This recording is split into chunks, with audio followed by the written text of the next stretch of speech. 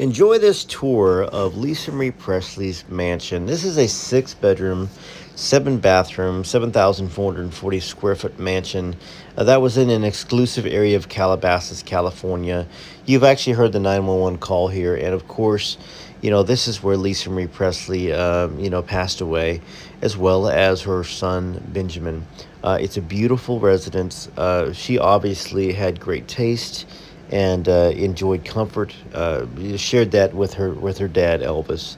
This mansion, of course, has a beautiful swimming pool. It's a uh, it's kind of like a one of a kind New England style chateau.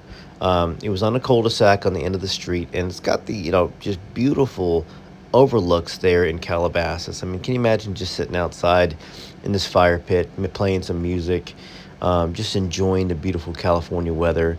Um, she obviously enjoyed this house and stayed in this house quite a bit.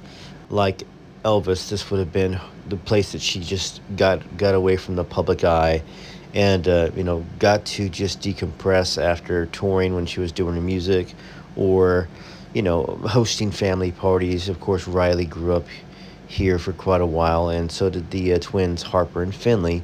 Um, you know the it's got a beautiful patio there. I love the color of blue and the teak wood. Um, you know, I can just imagine the dinner parties that Lisa had here uh, with her daughters and uh, with friends. Um, so to enjoy the rest of these photos here, I just wanted to share them with you, if just in case you were curious about not only where Lisa Marie Presley lived, but you know, if you just look a little further, you can see you know the entryways.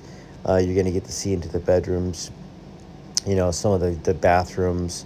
Um, just a beautiful, beautiful home, um, you know, fit for the princess of rock and roll.